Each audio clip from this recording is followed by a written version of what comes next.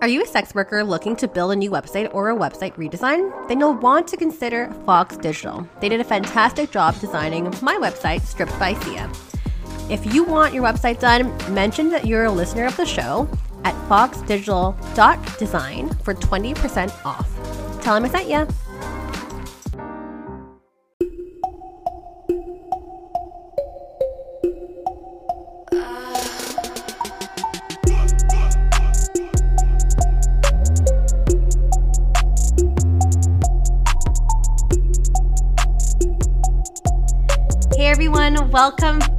To another episode of Stripped by Sia, your podcast for strippers, sex workers, and all the fancy naked people in between.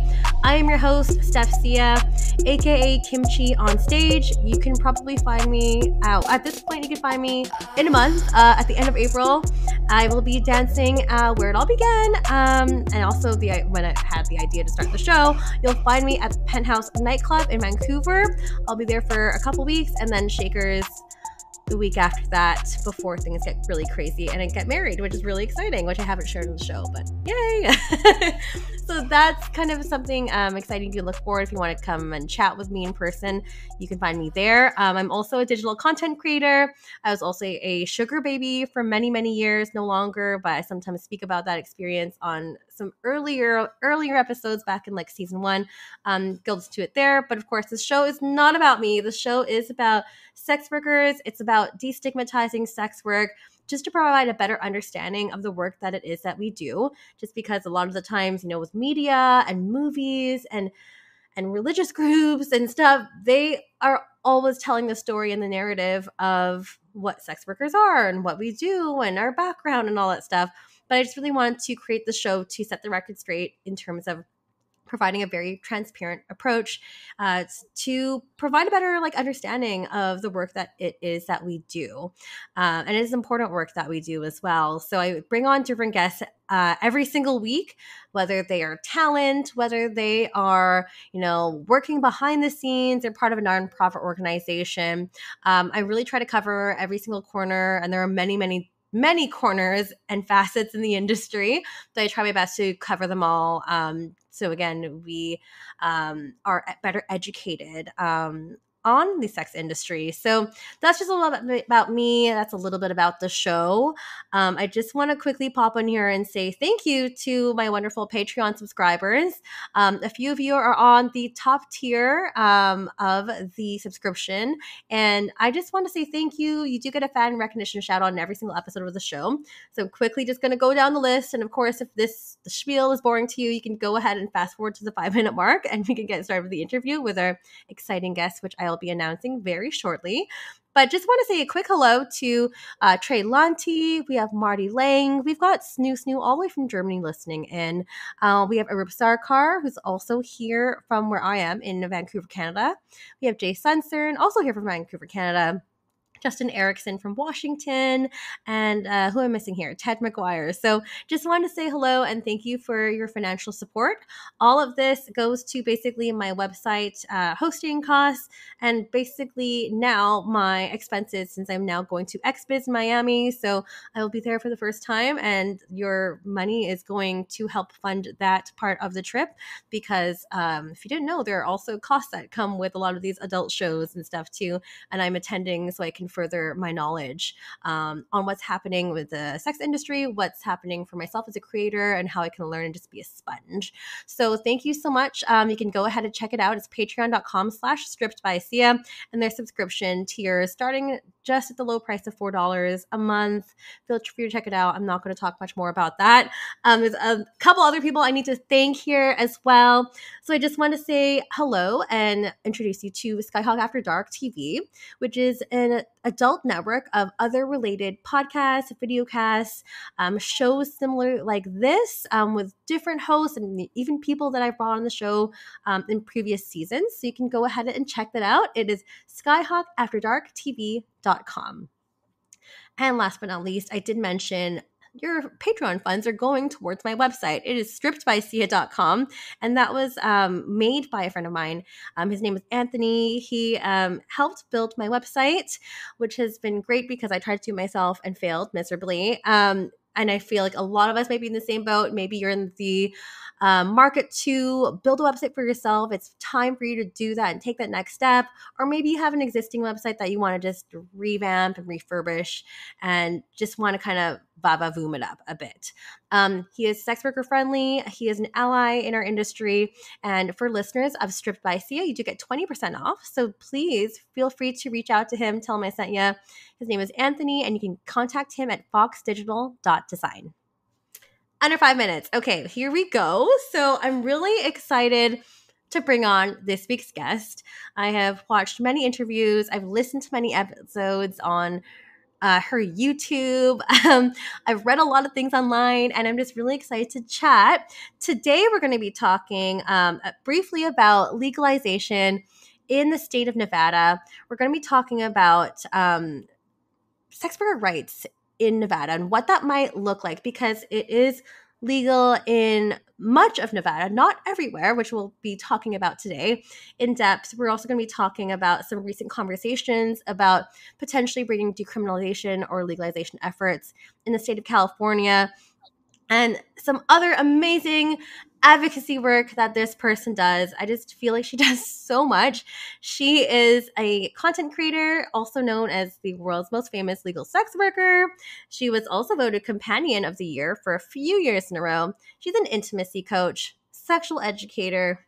Uh, I said content creator, I, but I briefly mentioned YouTuber. She does all the things. I would like to give a warm welcome to my guest today, who goes by the name of Alice Little.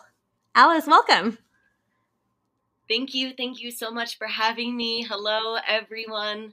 I'm Alice Little. I'm a legal sex worker, sex educator, intimacy expert, and sex worker rights advocate. This is really exciting to chat with you. I'm really excited for you to join me. I, I, feel like you have accomplished so much and you've really, really made your mark in the industry.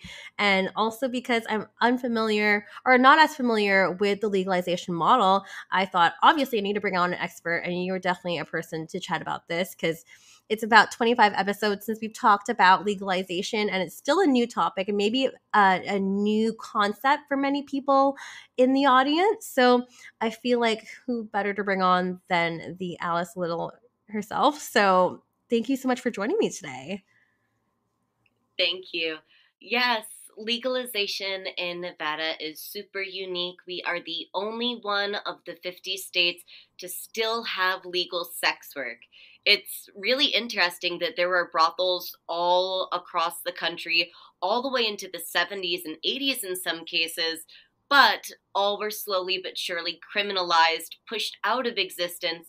And so Nevada's kind of the final frontier as far as what legal sex work looks like in America. Yeah, definitely. And I know we we haven't touched much on it uh, on this show, uh, particularly. We do focus a lot on decriminalization, but I think it is really fair to speak and have that representation for those who are legal workers in the state of Nevada, and this might also ring true for other parts of the world. So, again, um, just really trying to be transparent here, and also just to bring a bit of education for those who don't know um, much about it, like myself. So, um, maybe before we kind of dive into the meat of the topic today, maybe we can do like a, a brief like history lesson and just explain what legalization means and how that uh, operates in the state of Nevada and where that is actually allowed allowed to occur. Yes. So it's important to understand that legalization started in the 1970s and is legislated at a county by county level. There's 20 counties in Nevada, 13 of which allow for legal brothels. Not all have active brothels right now. There's about 20 brothels currently active and running, spread out across Nevada, typically speaking in rural, smaller corners of the state. You won't see legalization in Reno. You won't see legalization in Las Vegas. The closest you're going to get is where I work, which is at the Chicken Ranch brothel, which is about an hour outside in Nye County. So a completely separate county than Las Vegas, which is Clark County. Not mm-hmm. a lot of mm-hmm. people realize there's a difference and you're going about an hour's distance outside of the strip. The Gotcha. legislation happened in the 1970s in reaction to the existence of brothels that had already popped up. It's not like someone waved a magic wand and boom, there were brothels. they were already there. And then the legislation came into play in order to figure out the best way to go about operating these locations in a way that was safe, consensual, and realistically profitable for the people who owned these various locations. The legislation was written in the 1970s primarily by the counties themselves in conjunction and coordination with the brothel owners. So, as you can imagine, a lot of the legislation is very, very outdated. Not much has changed since the 70s, and it's important to understand that existing legislation really centers and protects brothel rights more so than sex worker rights. However, Gotcha. there's a lot of Okay. points to legalization too. For example, in reaction to the HIV crisis occurring in the 80s, health standards were implemented very routinely within the industry. Condoms were made absolutely mandatory. There's signs required to be posted throughout the facility, condoms mandatory. So there's no unrealistic mm-hmm. or unsafe expectations when someone is coming to the location. Legislation handles that aspect of it for us, which is quite nice. Yeah, There's that's lots of really interesting bits of legislation. For example, it is currently not possible to open a new brothel. They're all grandfathered in through this existing legislation, so you can't just start a new location. There's the predetermined existing locations in the grandfathered in X designated residence areas, which essentially says, yes, adult things can happen in this zoning. Oh. No new Oh, area is zoned X, no new licenses are being issued. So, therefore, in order to become a brothel owner or start a new brothel, you would have to buy an existing brothel. okay. I did not know that. Okay, I'm learning already. Yeah. a couple minutes, but yes. Sorry, continue. Yeah, there's two sets of legislation. There's the legislation that applies to the brothel and the requirements that the brothel itself needs to meet health standards, having a bar license, paying for the electric. They make sure that we have a security gate around the property so guests are buzzed in and out so we can check IDs and make sure that everyone's of legal age and is supposed to be there. No one sneaking onto the property, you know. Um, and then there's the set of legislation for the sex workers themselves, which is completely separate. We're considered independent contractors of this Right. particular business. So they follow their licensure and set of legislation. And then we have our own individual licensure and legislation. So we obtain a work permit directly through the county. We go into the sheriff's office. We do a full FBI background check, complete with fingerprinting, four times Mm. a year in Nye County. It costs $150 per quarter for that work license, which then allows us to be registered in the county to work at that specific location Right. if we were to change locations, we would then also have to reapply for a license, go back through the process, resubmit our fingerprints, pay the 150 again. Gotcha. Not super ideal. Right. But that's currently the that's currently the written law as it stands right now in Nevada. Mhm. The legislation is designed to prevent minors from being able to enter the industry, prevent folks with like a violent criminal history from being able to enter the industry for safety of everyone. Each county, of course, has its own disqualifiers for being able to obtain a work permit. So, where you work is going to also impact what your licensure requirements are. Some Gotcha. counties are more felony friendly than others. Some counties have it no, if you've ever had a felony, you can never work here.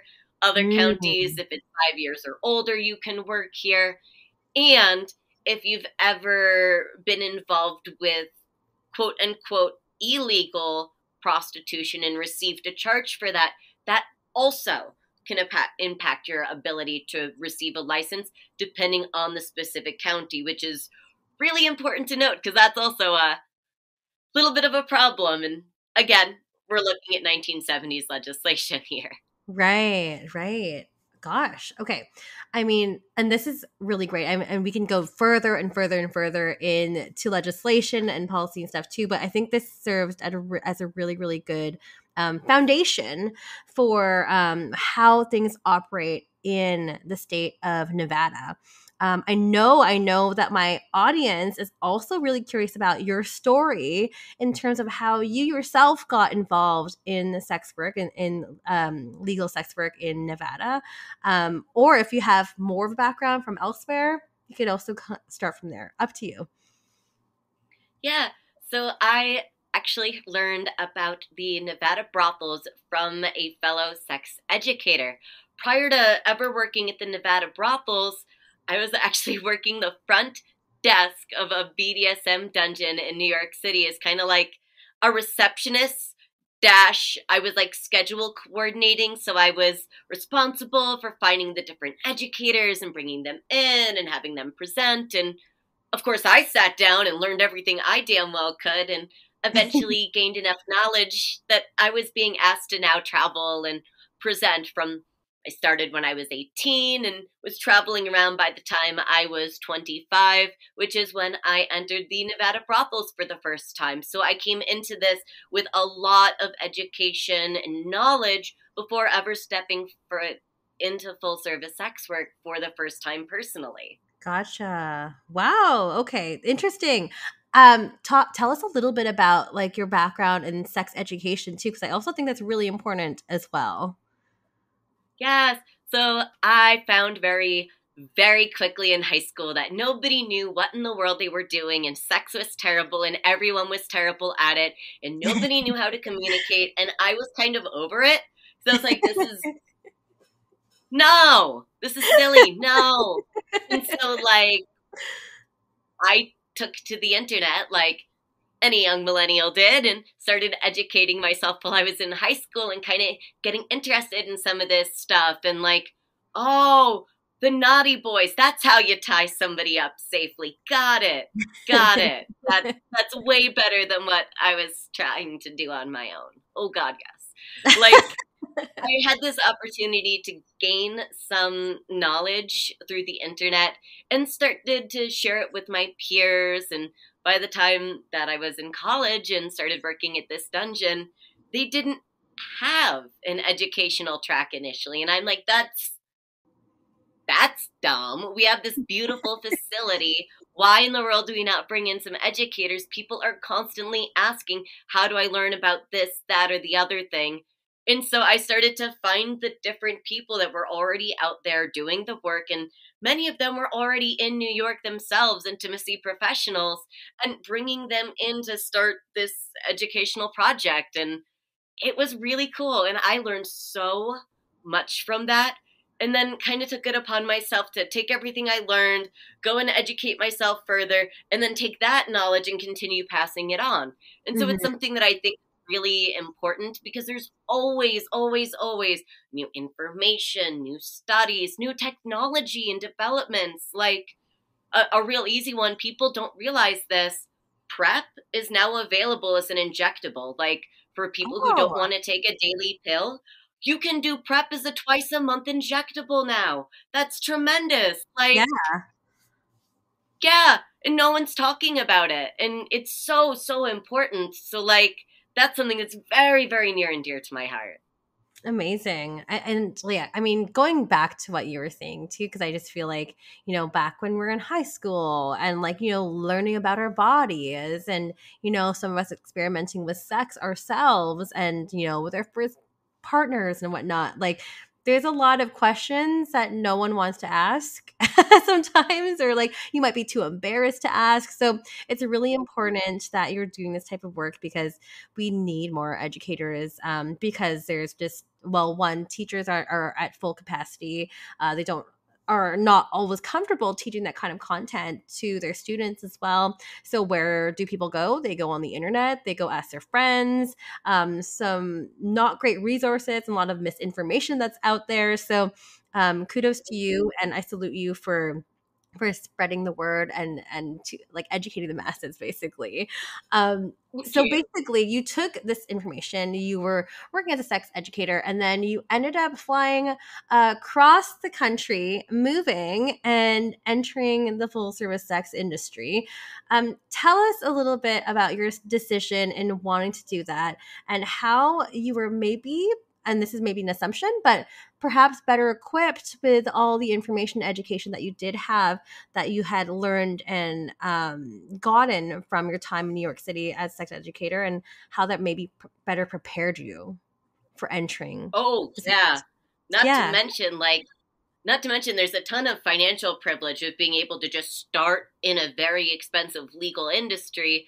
So I have to cover all of my expenses in order to start as a legal sex worker and make the career jump from sex educator and cell phone saleswoman to now doing full service full time. So right. the first thing I did was applied online, which it's important to note with the limited locations, this puts the power in the hands of the brothel owners because we, brothel workers, need to apply at these locations and these locations then respond back to the folks of their choosing. So there's a certain amount of privilege in the first place of am I able to get in? Will any mm-hmm. of these locations accept my application?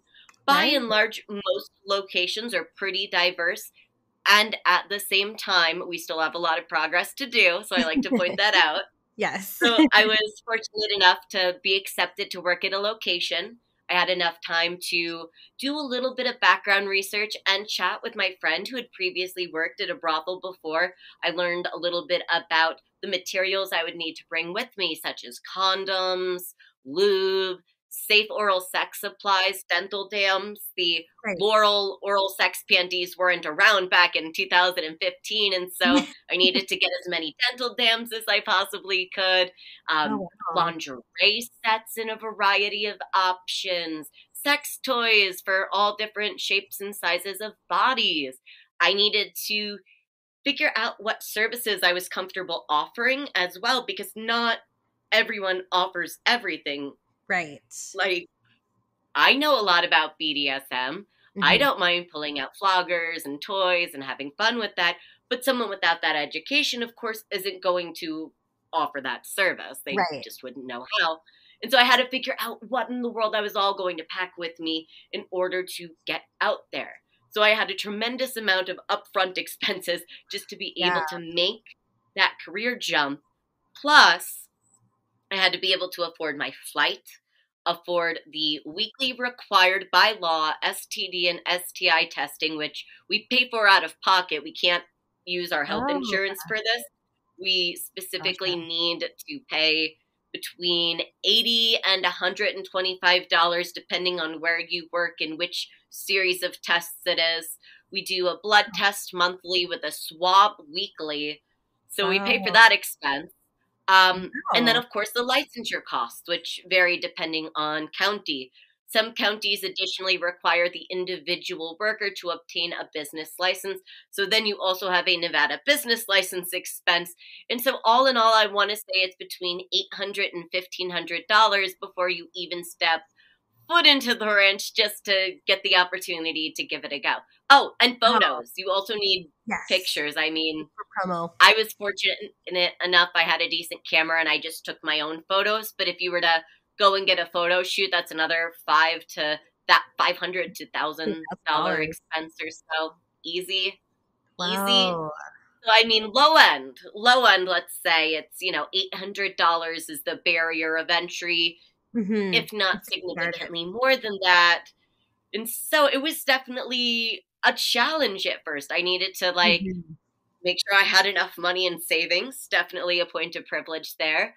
I had a fallback plan at the time. I had like some credit cards and stuff. So like mm-hmm. if I flew out to the ranch and I made no money, I wouldn't be impoverished. I'd still be able to survive. So that's definitely a privilege point. Mm-hmm. And then I also kind of knew what to expect going into it from having that point of contact with someone who was already in the industry, which really helped. really helped me get totally. started initially.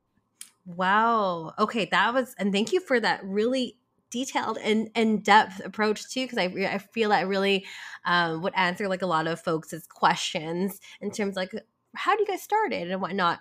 Um, a question for you is um, how did you decide that you wanted to move specifically to the state of nevada? Was it because of sex work being legalized there there's maybe more protection in some capacity or were you considering other places or to start full service or was it specifically i'm going to nevada and i'm going to be working in a brothel.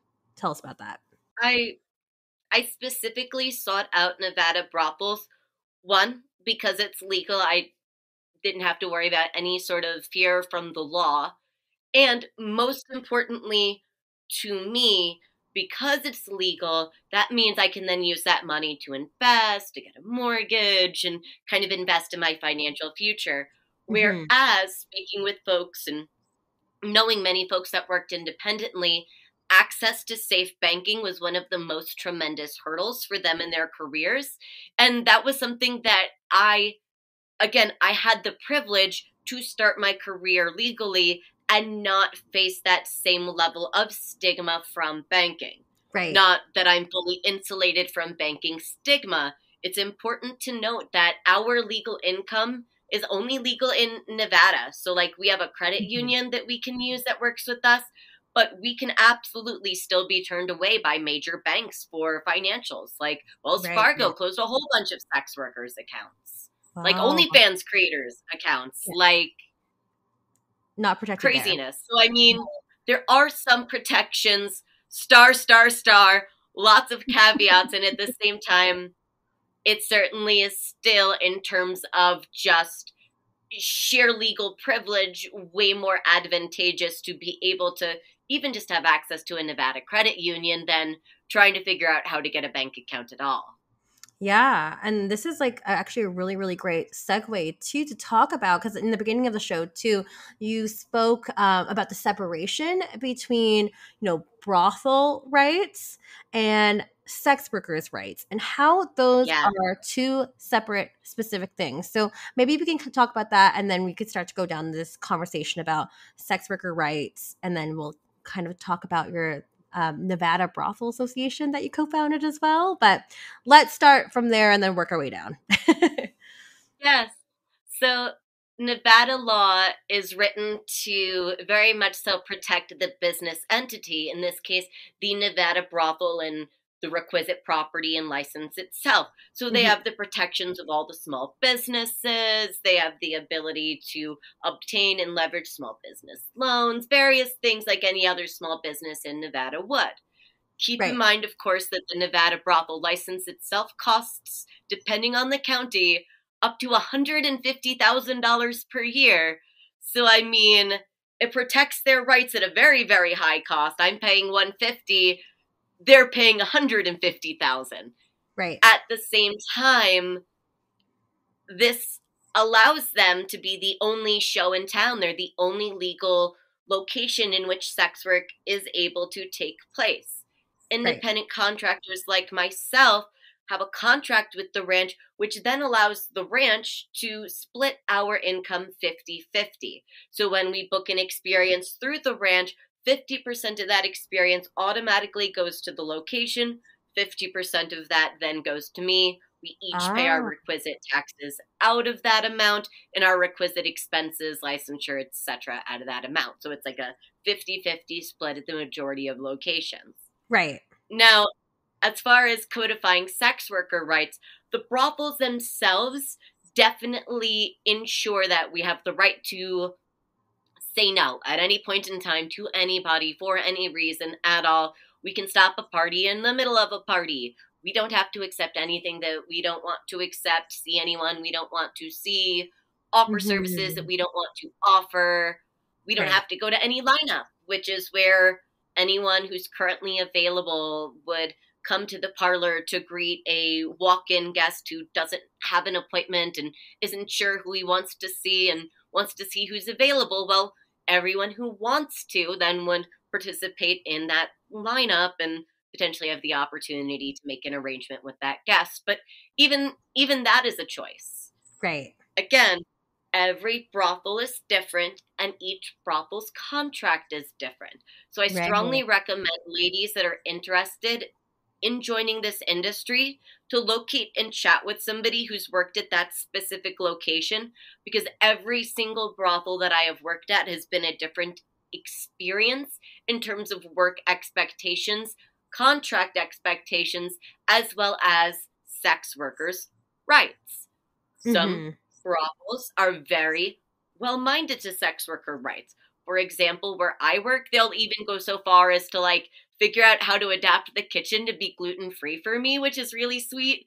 Like, awesome. I don't mind. I can eat prepackaged food. You guys, it's okay. Like, I know I'm the pain in the butt with food allergies. Like, you don't have to go through the whole song and dance for me. But, like, they very much are like, no, this is a point that, like, if you're paying for room and board, that it comes with this. This is part of the services that we are agreeing to provide for you. So, yeah, Right. we're going to adapt to make sure we can do that, Mhm. which is really nice. Very Yeah. ideal in that regard. Such a good Um, touch. Yeah.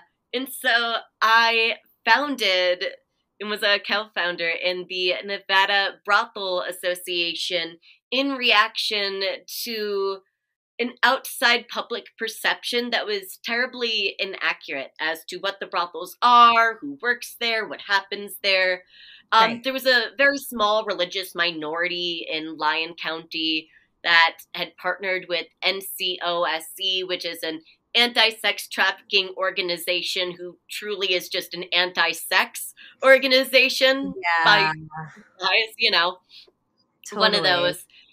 And so they said all sex work is trafficking. No one could do this willingly and consensually. There's minors at the brothels. Look at that Uh. four foot eight Alice Little. She's so tiny. And I'm like, excuse me, I'm 27. I'm not even the youngest person that works here. Are you for real right now? like I was over it. And so myself and a few colleagues teamed together to create an organization to make sure that our rights, not the brothel owners, us, we the workers, were the ones who were actually speaking about what's happening inside of these brothels. Because I Mhm. know what's happening inside the brothel. Yeah, I work work there. I'm there. there constantly. Like there's nobody who knows the environment better than somebody who's actually living and working in the environment. And so I took it upon myself to organize a series of town halls and educate the general public as to what the brothels are, what the policies and procedures are. How do we prevent trafficking? How do we benefit the local community? In what ways do we prevent minors from entering the industry? How do we keep harm from coming to the workers? And it was all educational, like every room's got a panic button that goes immediately to the front in the sheriff's office. We've got a variety of like safety protocols that we have enacted. There's all sorts of different just little details that people just had no idea about because they never had the opportunity to learn. So Yeah. like I kind of almost felt like it was a calling back to my days as a sex educator, except now I'm being a brothel educator and just letting people know that hey, I'm just your average neighborhood sex worker. It's cool. we all coexist here and frankly speaking, that. the money from the brothels, our licensures, our fees, our tax dollars was so much money in that particular county that it paid for all the police vehicles and ambulances for the county. Like, Wow. what were the cops going to do? Ride horses? I mean, the, the county, in many ways, very financially benefits from having these locations. Mhm. And so, upon learning more about it, we ended up winning that vote by an 85% margin, which was enough to stop an attempt to criminalize at the state level. Because, of course, he wasn't just going to go away, he wanted to keep it going. Yes.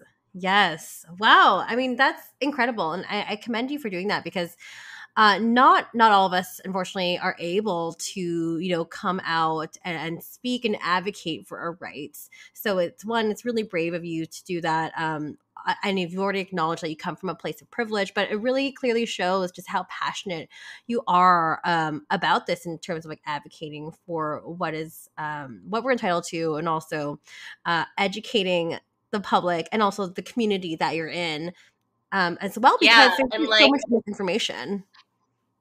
Yeah, and like at advocacy work to anyone who's thinking of getting involved in it. By the way, pro tip, it does come with some very real risks and not from the people that you would expect. but it's it was the church that ended up stalking and harassing me. They tried to follow yeah. me home from work multiple multiple times. Oh like oh they had the church bumper sticker on the car and they followed me through multiple multiple right-hand turns. I did a full figure 8 to make sure that I was actually being followed before driving to oh. the police station to get them off my tail. Like crazy. There's some real crazy people out there and that's not to deter anyone from doing advocacy work, but it's to empower anybody else going into it, know what you're getting into go with a buddy, have a buddy system. Ideally, have somebody like drop you off and pick you up from events. Don't go straight wow. home. Like, send me an email. I will make sure that you've got the knowledge you need because we do, we do need more activists. We absolutely totally. do. And I also understand why so many people are like, maybe I don't want to get personally involved because, yeah, yeah, there's mm-hmm. some really crazy risks out there. Oh boy. Oh my gosh, you know what? We don't even really talk about that too because I've, I've brought so many people that you know are involved in some capacity with advocacy work for sex worker rights, but I've never or maybe people have never shared this before and thank you so much for sharing that's really freaking scary. Um, but to talk about some of these risks about getting involved with um, any kind of like advocacy groups or any kind of like political activism as well but like um, for sex workers specifically and advocating for them is it mainly and this is from your just your own ex- personal experience but is it mainly the opposition that you're seeing is is from the church and like right wing opposing parties? Yes you're nodding. Yes. By, by and large yes. It's a lot of religious morality conservatism. We're seeing mm-hmm. a lot of um, ties between the nonprofit the nonprofit anti sex work, anti sex trafficking organizations, right. and the anti porn groups and the various morality nonprofits that were in existence in the 70s and 80s that were mm-hmm. largely responsible for the criminalization and closure of brothels throughout America. So, right. like, it, it's the same group. They've just put on a different mask and have a new 501c3 in name, but like, it's the same exact tired, fallible argument. We uh. know that minors aren't working at the brothels. Why? Because we have to submit our literal fingerprints to the sheriff in his office and we go through an FBI database. Do you think you're smart enough to beat the FBI database? Yeah, I don't think I am smart so. enough to beat the FBI database. Like, Ah, like just, I, I, don't know how somebody fakes that. Like how do you how, how do you I, I, don't see how it's literally possible, possible for somebody to do what they're trying to claim is being done. Right. And like it, it's not even just that, like they do random checks because again, there was so much noise about, oh, what if there's a minor?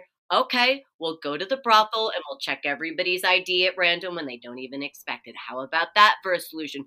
Oh, okay. So they did that, and there were no problems. Shocker, like, right? Oh my god! I was teasing that. I was teasing that you know they missed somebody. They actually did. they missed the house cat. They didn't. They didn't give a work card for the house cat, Kashmir. Unlicensed pussy in the house. Unacceptable. well, you know it's funny because you, you mentioned that like a lot of these organizations they're always just like parading that it's about the children. We gotta uh, like protect the children. Even where I am in Canada, it's always like um, we have an act that's um, kind of in, in, alignment with like FOSTA SESTA, and um, one of the things there is about protecting exploited persons, uh, most of all protecting children. But it's never really about the children, is it? Like it's usually just about no typically and in this no. particular case um people engaging in sex work which is really frustrating yeah because if it was about the children 16 year old Cyntoia Brown wouldn't have been charged with prostitution if it was about the children she was a minor victim and yet in the eyes of the law they tried her as an adult for protecting herself from sexual violence. So you can't tell me it's about the children when we have this incredibly national case. It was large enough, I think Kim Kardashian got involved and helped hire her a lawyer at one point. Like, that was some next level stuff right there. But, like, yeah. that was a minor. You want to protect the children? That's who you should have been protecting. And you right. failed. So maybe, just maybe, possibly, we need to find solutions by actually working with the industry itself. Because the yeah. reality is, the reality is, even if somebody is in a situation where they don't want to do something, you know who the very first person who's going to tell that girl, no, you shouldn't do that. You know what? Let's go ahead and let's like take care of this so this isn't happening. Sex workers. Mm-hmm. We are the very first persons, the very first folks that if we get sense that something's not right, we're going to say something because we care a lot about our own. That's why there's mm-hmm. so much peer level activism. Um, shout out, by the way, Sex Worker Mutual Aid Fund Las Vegas. Summer Heart yes. does amazing, amazing work. Speaking of like sex worker mutual aid, it's by sex workers for sex workers, micro grants to help cover gaps in funding that sex workers may have. And that's why you see those things happening. Like no sex worker is getting famous because they're protecting sex worker rights or doing nonprofit work. Right. We do it because we actually care a lot about yes. what happens to people in this industry.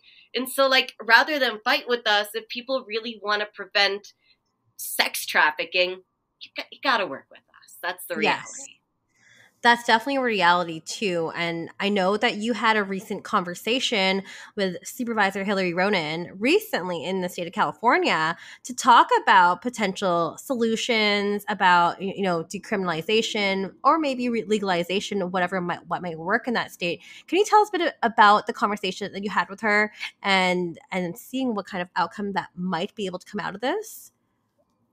Yeah, it was such a good conversation. So, a little bit of background history. Hillary Ronen is the supervisor of San Francisco.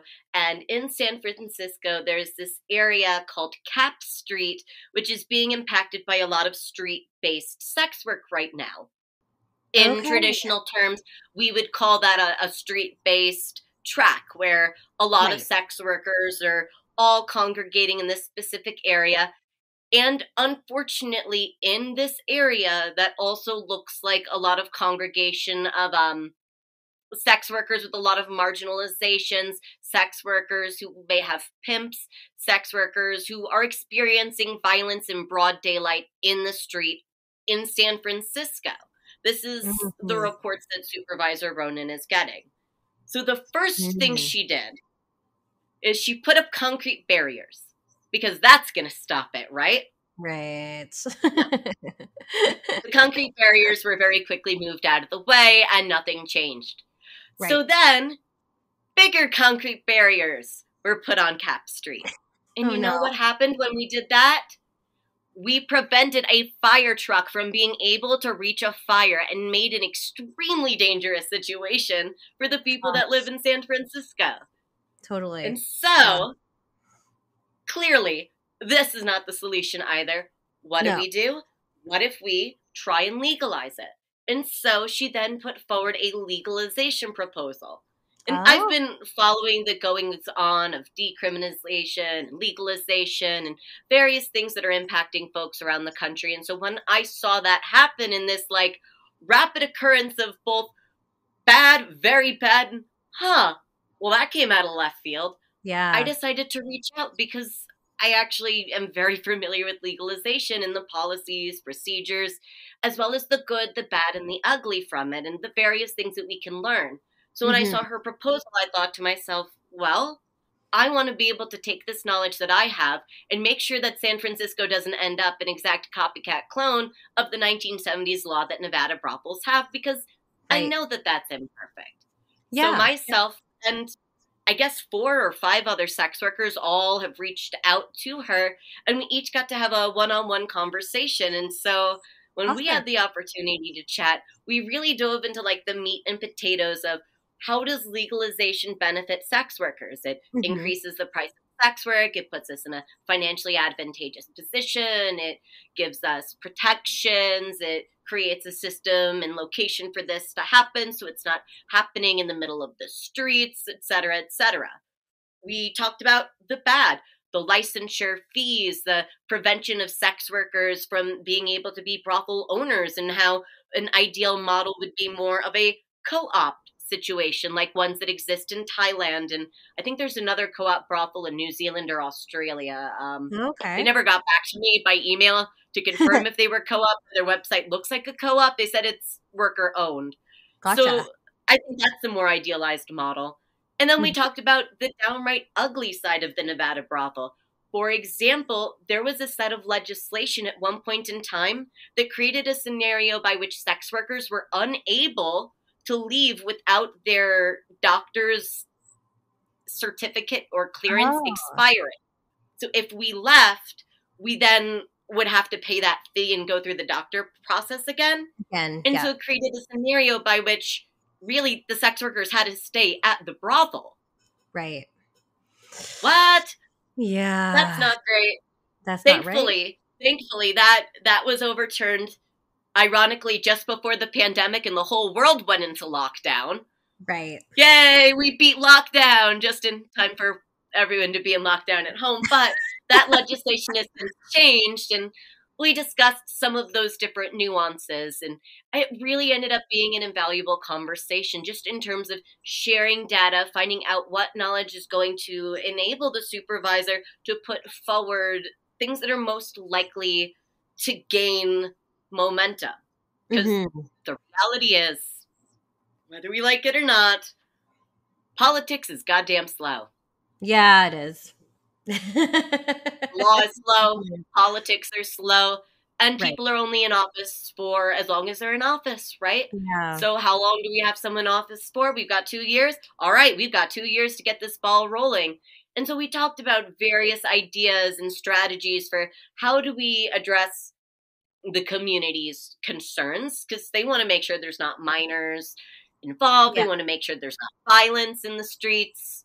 We talked a right. little bit about the financial aspects of this like why would communities want to allow a brothel to pop up in their mm-hmm. county like where's the financial benefits from them right and we also talked a whole lot about immediate short-term solutions to minimize the amount of violence that's currently happening for sex workers and discussed ideally codifying something like a sex worker bill of rights that includes oh. some amnesty we might not be able to do decriminalization tomorrow, today, next year, but if someone's experiencing sexual violence and reports a sexually violent crime, can we give them amnesty from being charged with another crime like prostitution?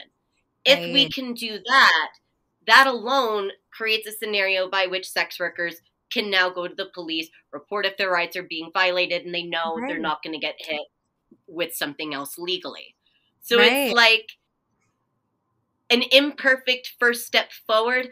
But in my opinion, that's going to be the most effective way to quickly get some form of sex worker rights codified, which then creates legal precedence, which is everything. Everything here in America is based off of legal precedence. What's right. been done and written before. If we can right. create precedents for sex worker rights here in San Francisco, we can create precedents for sex workers' rights all throughout California, yeah, maybe into exactly. Oregon, maybe at a national level. It's it's something. Right. And that's my yeah. hope is to get something started in the right direction and not just yeah. let this stall out. Totally. And it sounds like a really valuable conversation that was had. And like, uh, kudos to you, and also as well as the other sex workers that were involved uh, within that conversation, because it's so, so, so important that they start to utilize and incorporate and consult with actual sex workers to get some policies yeah. created and that's usually a component that is missing with a lot of like um, political parties and things that they want to change but they never talk to any of us so so thank you for mm-hmm. at least igniting a bit of that conversation and and hopefully you know making those steps in the right direction for progress um there is another piece that I want to speak to you about because I know that we I could probably just talk to you for hours at this point. You're so fascinating. I'm just so oh, interested. I love, I love hearing you talk.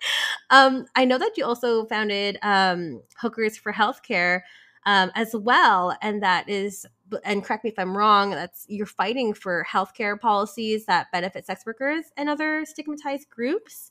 Can you speak yeah. a little bit about that? Yeah. So, this was in reaction to the Obama Care program that started, which unfortunately really put many independent contractors like myself in challenging situations where there were no providers. There was no one offering services to anybody within our specific demographic of independent contractors, which is ridiculous. Right. So, I first started this by campaigning to get us access to insurance plans to be able to get providers into that network, which is something that we achieved within the first six months. Oh, From awesome. there, we pivoted to then making sure that all of my colleagues understood how to obtain health insurance because at this point, the Obama Health Share Network website, it was new, it was confusing, and it took you about six months to get an appointment with somebody to walk you through it because there weren't enough volunteers to help people navigate the system. And so I said, Well, that's dumb. I'll help you navigate the system. Oh, and so I kind of put together a few peers and trained other people on here's how you navigate and here's the differences between PPO and HMO and you want to make sure that the coverage is in the person's home state and where their primary care physician is and you need to make sure that you've got reciprocal coverage and out of network and make sure there's benefits. So I kind of trained everybody on those systems, came up with a kind of protocol for getting folks insured because mm-hmm. healthcare mm. is unfortunately expensive and very difficult to obtain in this country. So I tried to yeah. make that a little bit easier. And then now I continue the educational front as far as hookers for healthcare in the form of both continued advocacy. I always make sure that there's various providers available to independent contractors, continuous enrollment at the top of each year, helping anyone change their plans if they need to, if they've undergone like a new life circumstance, had a baby, gotten married, mm-hmm. gotten divorced, maybe they've had a super successful business and now they have employees that they need to offer insurance through. How do you do that as a sex worker? Well, yeah. I can kind of walk through it to the best of my ability anyway. And if something surpasses my knowledge, I've got other resources now available to start pulling from. And it's really just been this beautiful thing. Like I've gone so far as to start building up like preferred provider lists. So like I've got a list of like primary care physicians that are sex worker friendly. There's uh, awesome. various organizations that are coordinating sex worker friendly therapists. Shout out to mm-hmm. Pineapple Support. They're doing a pretty yes. good job on the mental health front. Um, yes gosh and, and knowledge. Knowledge too. I'm doing continuous education. I'm going to be speaking at an event coming up i want to say in august for asn magazine and educating oh. about uh, safer sex practices. Not many people realize that uh, the cdc updated their safe sex protocols and what you test and how you test and why you test for those things. And right. so I've partnered with a physician to kind of go together and share this desperately needed knowledge with as many people as possible. That's amazing. Oh my gosh huge congratulations. And I mean, that's a huge accomplishment as well. I, I, just love the whole notion of you helping other people and helping their access and just making things a lot easier because like the US healthcare system is I would say deeply flawed, um, very expensive and inaccessible for so many people. Um, so that this is huge, and um, I'm so excited. I was so excited to talk to you about that too because it's just like, uh, I mean, amongst everything that you do, I think this is really great. And, and it shows that you really do have a, a deep passion for helping others. And it really does show with all the efforts that you have taken in your career and continue to take in your career as well. Um, I also want to ask you, like, where do you think your advocacy is going to go and like what are next steps for you or do you have plans for the future i know you have a speaking engagement in august but like what is the, the end goal for this? So, like, my long term hope is to see sex worker rights codified at ideally a national level, but mm-hmm. realistically, mm-hmm. this happens at community based levels in order to get the ball rolling, make things happen a little bit more dynamically and a little bit faster. So, my mm-hmm. plan moving forward is to stay involved with folks like Supervisor Ronen, assist as much as I absolutely can. And then I'm also continuing the conversation in other areas of opportunity with existing nonprofits that are wanting to say, extend their offerings to sex workers. I've got a conversation gosh, later this month with Hey Denver to talk a bit about how they can further benefit their local sex workers and offer support. See what kind of opportunities exist within that space. I've got a a few contacts in Washington D.C. that are professional lobbyists, and so every so often they'll like send me the name of like a random senator or representative, and be like, "Hey, send them the email." And the yeah. email being that, hi, I'm Alice Little and I'm making myself available for you. Ask me anything because it all starts with just answering questions before we can start asking legislators to do anything for us. We've got to educate them on who in the world we are. And that's something that, frankly speaking, I love being able to do as a service to the community as a whole.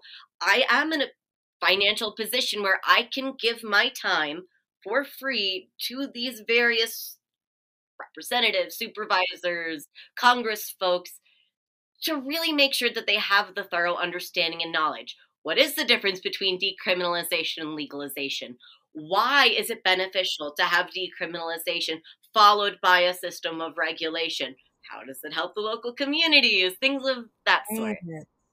Amazing. I mean, kudos to you. You do so much. I'm incredibly impressed by you. And uh, one, the way you speak is just amazing. And I could just like listen to you talk for so long. Um, and we probably can talk for another couple hours for sure. But I know that the audience definitely had some questions for you as well. So I feel like it might be best to move on to that portion of the show. Um, I know that some questions came in from Twitter, and we'll just kind of navigate them as they come in. So uh, the first question is uh, What model of sex work policy do you feel is the most effective and safe for workers? In my opinion, right now the best system anywhere in the world is what currently exists in New Zealand, which is sometimes called the New Zealand or NZ model. This mm-hmm. is full decriminalization of both sex work purchase as well as selling, so full decrim across the board. And they have some limited oversight, various committees into how do you do this safely that speak as to safety patterns. They've got limited licensure that only impacts brothels being operated by third parties over a certain size. And they've really used their legal code to mm-hmm. not necessarily legalize, but kind of um structure around and framework it, I think is the right word. Mm-hmm. Like they provide the framework for this to exist without the criminalized component, nor the full legalization that you may see reflected perhaps in Nevada, which is very codified, typified legal language. Right, right. And such a great answer, too. If any folks are interested in hearing about the New Zealand model for full decriminalization, please listen to the episodes I did with Vixen Temple, who is a New Zealand based sex worker down there, also a huge, huge, huge advocate for decrim and sex worker rights as well. Um, feel free to listen to that. There's lots of great goodies and information and tidbits there that you can learn. um, next question is from the same person What are the shortcomings of the brothel model? Oh gosh, plenty. I mean, the financial discrimination, there's the discrimination around background checks, there's the discrimination as far as who is able to be hired at the level of just getting past the brothel owner or whomever is processing the work applications. There's multiple, multiple shortcomings, but the biggest shortcoming of all is the fact that it was written in the 1970s and hasn't been updated since. Yeah. There was supposed to be an update. There was a work study, there was a committee, it was fully funded. And then the pandemic happened. Oh no. Oh. Yeah, and unfortunately that study really was just kind of put on the back burner, deprioritized, defunded right. because of course the government had bigger concerns at that point of time. And so right. I'm hoping that we can get Nevada law updated and modernized. We've had some small wins along the way. We've changed the work card from saying prostitute to courtesan. We've mm-hmm. managed do away with the the lockdown policy, that doctoral requirement that essentially kept everybody there. So there's right. been tremendous gains within that system, but there's still a lot of progress. Right. Lots of progress to be had. And thanks for being so transparent about this as well again, another reason why I brought you on.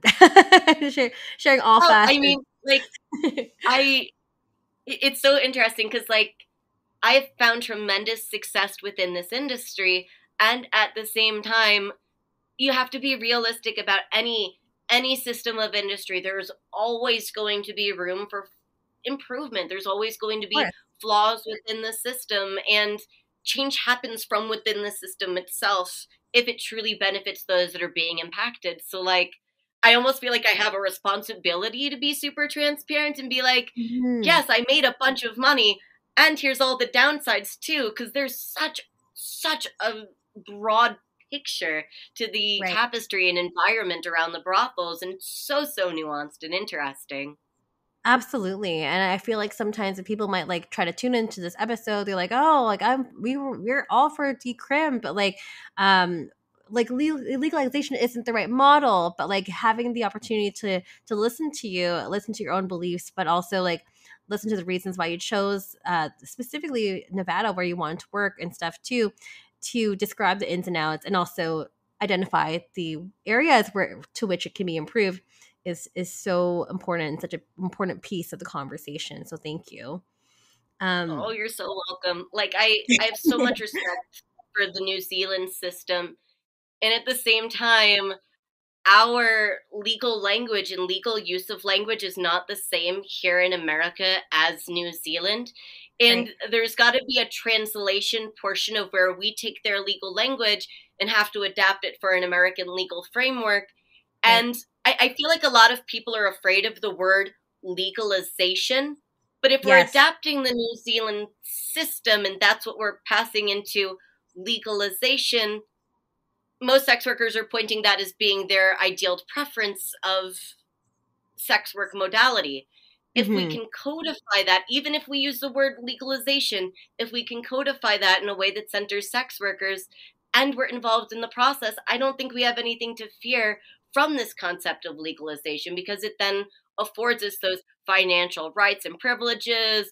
In New Zealand, for example, there's nothing that guarantees them the right to operate in a specific location. So there's discrimination that they face mm-hmm. as far as some areas don't allow home based sex work or won't allow for brothels. And it's like yeah. now discrimination being done by the county. So, like, even New Zealand isn't mm-hmm. perfect. And yeah, certain aspects exactly. of legalization can help put those protections into place. That's that's all mm-hmm. legalization is the codification of all the benefits and guarantees and promises that we're looking for to be able to do our work safely, sanely, and beneficially.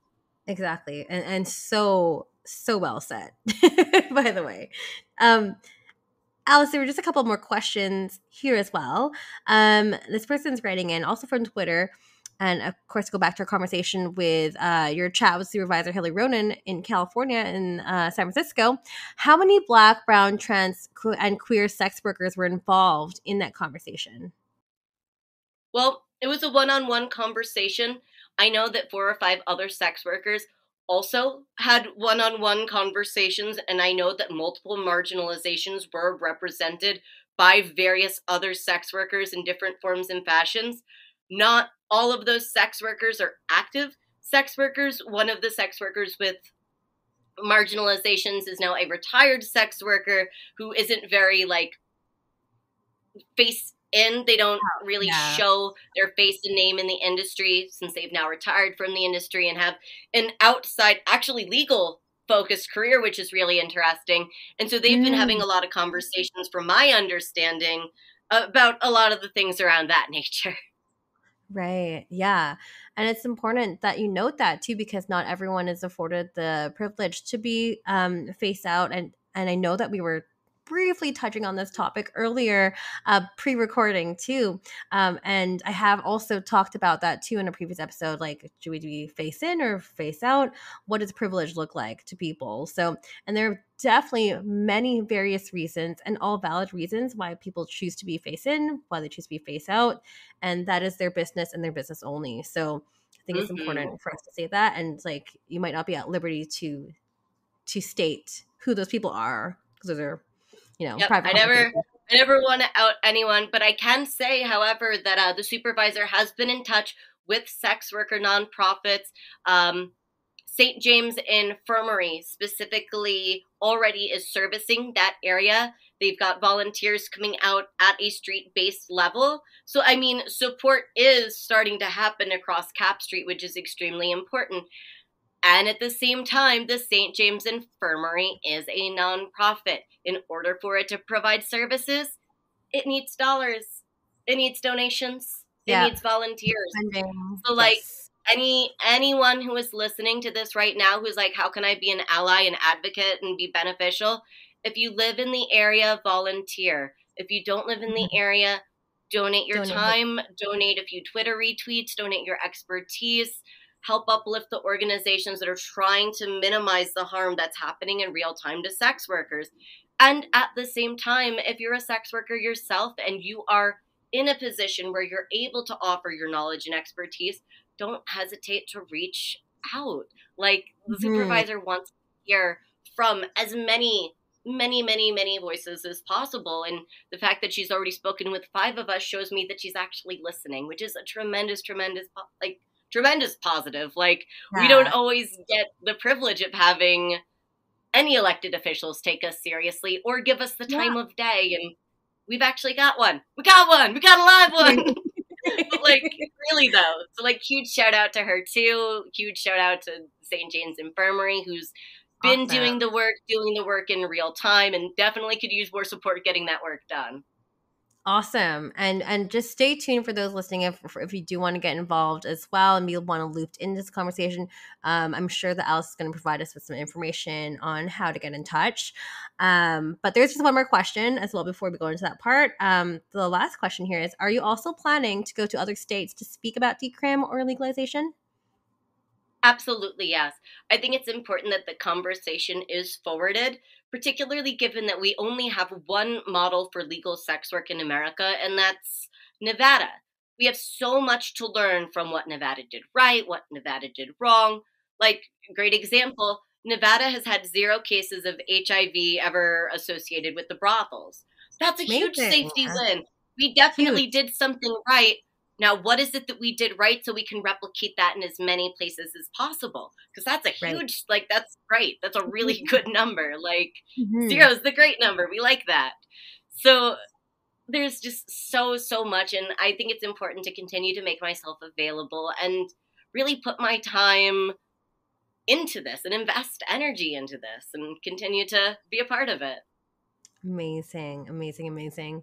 Um, I really thoroughly enjoyed this conversation with you, Alice. Um, I would love for the listeners to maybe potentially get in touch with you as well. And maybe it's at that point where we ask, where can we find you? Yes. You can find me all over the web. The best place to find me is going to be thealicelittle.com. You will find links to my Patreon through there, links to my OnlyFans through there, Instagram, Twitter. I have a variety of different handles on social media platforms because, as we know, social media is not sex worker friendly and loves yes. to take our accounts down. So you're going to want to go to my website and just click on all the different ones. And of course, you can always email me too, Alice Little at thealicelittle.com. My email is always, always open. I love getting to hear from folks, and I answer my emails personally about six out of seven days a week. I get to them. I love it. I love it. And also, I will mention that you have a fantastic YouTube channel as well that is highly informative.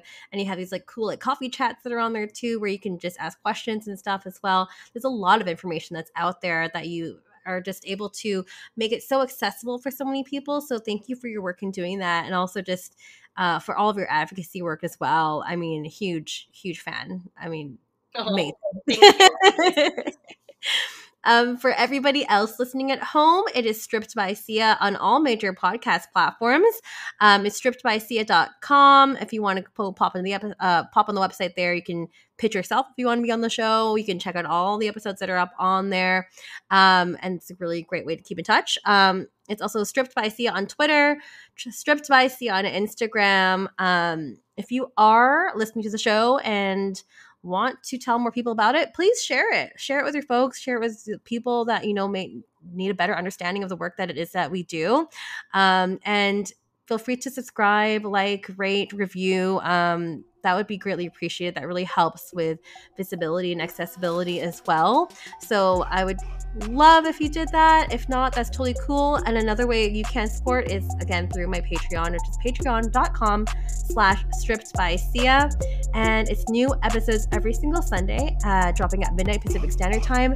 And that's pretty much it for today. Thank you so much, Alice, for joining me on this conversation and and thanks for clearing so many things up with us today. And thank you for the work that you do. Amazing. Oh, thank you, thank you, thank you.